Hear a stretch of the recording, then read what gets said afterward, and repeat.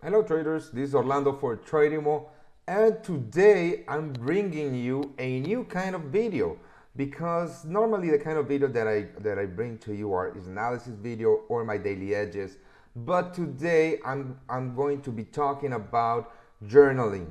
Journaling is extremely important if you want to become a professional trader and today I'm going to show you the journal that I use to uh, journal all my trades.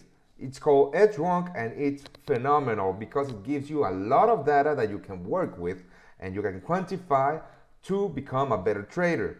But I'm, doing, I'm going to do this in a series of videos, so I'm going to start from the beginning. I'm going to start by uploading my, uh, showing you how I upload my trades to my journal. So once you, uh, well, once you have your license and uh, you have up, um,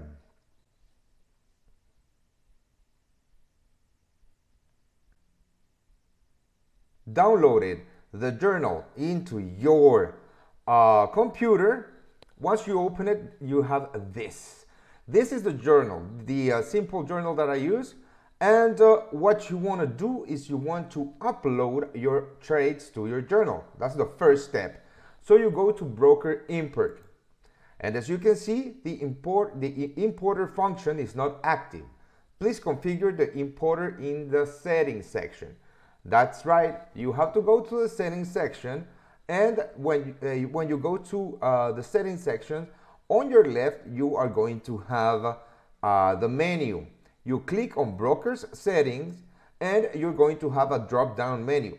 On this drop down menu, you can see all the uh, different um, import types that you have. I am going to be using the MetaTrader 4 HTML export, all right? Now you have to go to your MT4 platform. This is my MT4 platform uh, and uh, this is uh, my account history. I'm going to make it bigger. All right, this is my account history and I want all history, all right? I want all history and I want to save it as a detailed report. I'm going to save it on my desktop as a detailed report. I already have one saved, but I'm going to be um, uh, replacing it. So it's being replaced. This is my markets.com account. Uh, you can see that we started with uh, $5,000 and we have a profit of uh, $369.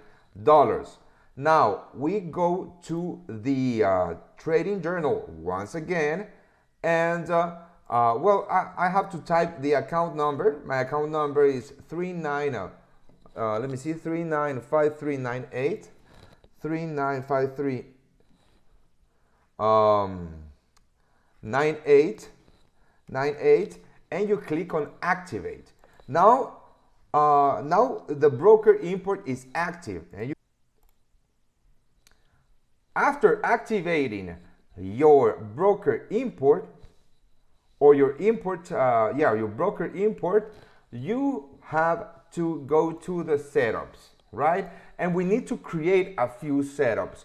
I use a couple of setups that I'm going to be creating right now. And the reason you need to create these setups is because once you load your statement, the journal is going to ask you what setups did you use, right? Now, I am going to create one setup and one setup alone because on the next video I'm going to I'm going to show you how to create different setups and how to uh, apply it to your trades. Because this is what's most important about journaling. You are going to be able to do a profitability analysis on your trades based on your setups and the currency pairs that you have traded. So for the for the time being we are going to put on a test and that's it because we are going to modify them all tomorrow or on the next video. Then we go to broker import, we click on the folder and I'm going to go to the desktop because this is where I uh, save my detail statement and I'm going to load my statement, right? This is the same statement that uh, I downloaded or I exported from my MT4 and now it's loaded onto my EdgeWonk journal. And the first thing you want to do is apply take profit and stop loss from the statement. That is completely fine. And we are going to apply the test setup to all the trades. Remember, we are going to be modifying this. I will, on the next video, I will show you how uh, to modify or how to create different strategies and setups for your trades. And we are going to click Save and Apply. And now we get this. Trades are imported and we click OK. Now, if we go to the home, you can see that now we have all the trades imported on your journal.